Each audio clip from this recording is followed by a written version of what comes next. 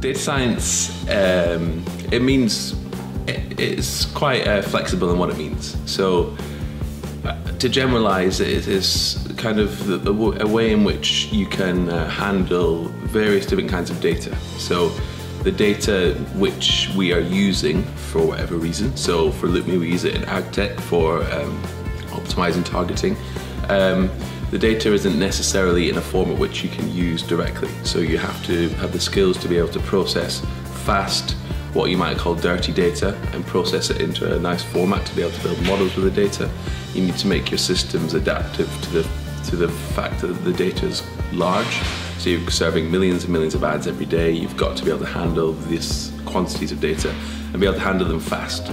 So our decisions are in real time. So our, our system has to make a decision as whether or not we're going to serve an ad to this person um, in a split second. So it has to be uh, adaptive to the speed, to the volume, um, to the to the the formatting of the data.